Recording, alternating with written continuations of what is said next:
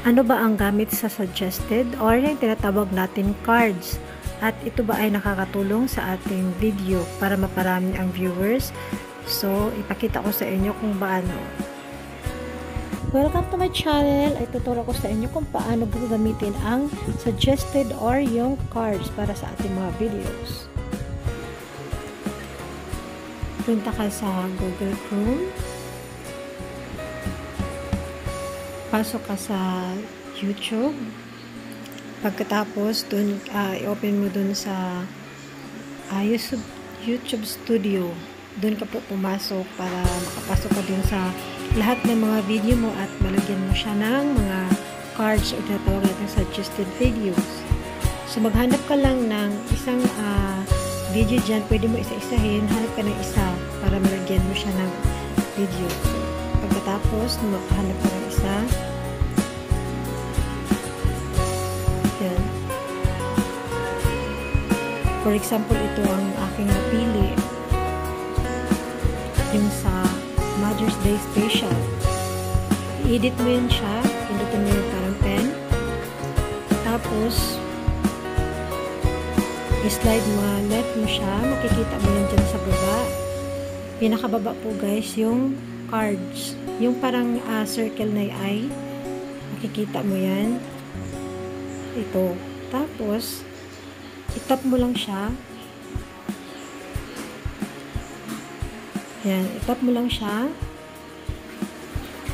Pagkatapos, is as sa bandang taas may makikita kang uh, apat na selections kung gusto mong video andun or playlist ang, ang sinilek ko is uh, video. So gusto ko yung suggested is yung video ko. So yan. Nilagay ko isa.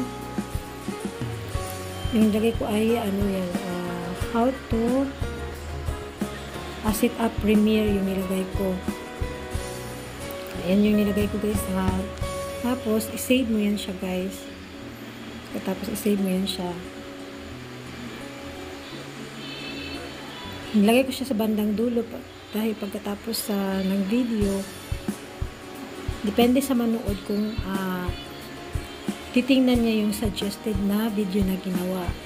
Pero pag hindi naman, okay lang. So, balik tayo dun sa ating YTC. Check natin kung uh, andun talaga yung nilagay natin na yung cards or tinatawag na suggested titingnan po natin kung andun ba i-flip po natin hanapin natin yung uh, Mother Day Special kasi yun ang nilagyan ko kanina ng cards or yung tinatawag natin suggested videos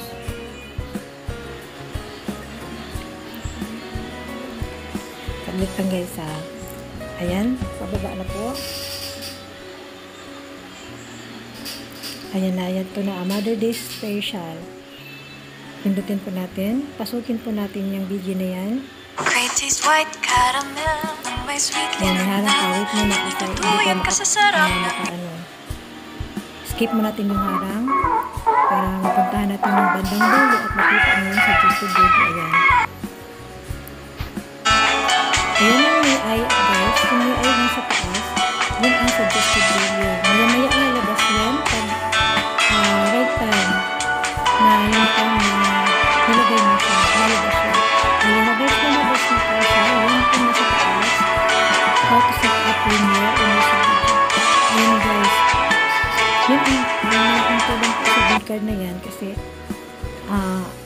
pwede siyang ipindot, i-click, makita siya ng uh, sa iyong videos. So, pwede siya mag-click doon. At saka, panoorin niya yun. So, nakadagdag view siya guys. Kasi ko yung views. So, instead na isa lang uh,